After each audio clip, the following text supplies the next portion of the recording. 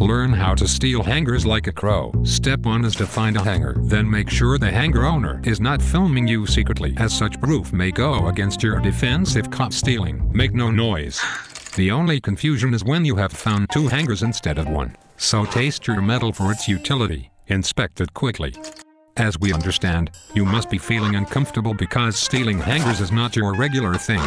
I insist you taste it four times to select the better hanger. It's amateurish to have last minute confusion, like should it be this one, or that one? Now hang on to the chosen hanger with your life. As your personal safety is of great concern at such a dangerous height. Once you have secured your catch, lift it with enough strength to cross-check the weight of your goodies. Twice. But be careful to not lose your balance. Waste no time to push the hanger to a safer level. Enter step 2. Stretch yourself for more flexibility. Get a better vantage point. And, go for the final kill. Well, at this point, only a bird brain will get tempted to steal both the hangers in one go. It's simply wise to stick with the one you've been working on so far. As it's already a Herculean task to steal a single hanger in broad daylight.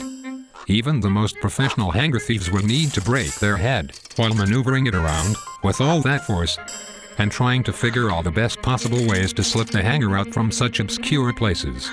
As you can see, it's difficult and tiring. Frustration may sink in, and you may want to throw it on the other hanger. But job well done, because unknowingly you may have unlatched the second hanger, adding more value to your steal. Catch your breath, but it's no time to take pride in your accomplishments so far. Do not lose focus on your goal. Hook, or by crook, this hanger must be yours. So grab hold of it and sneak out fast without dropping it. But if you do, quickly resume the stealing activity, since you are in your critical stage. Maybe this is the most perfect hanger for that suit in your wardrobe. So do not hang your head if it's getting difficult. Think of it as your ultimate trophy for this act of bravery. See, it helped, because you are now in full possession of the hanger. It's almost yours. Unless the hanger seems stuck for some unknown reason. Take a pause. Get suspicious. It could well be a trickery, but give it one last try. You could be lucky to get away even with one. But wait, don't be foolish to use bare hands and leave finger marks for the authorities.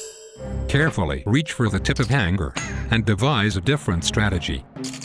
Like a different angle of escape.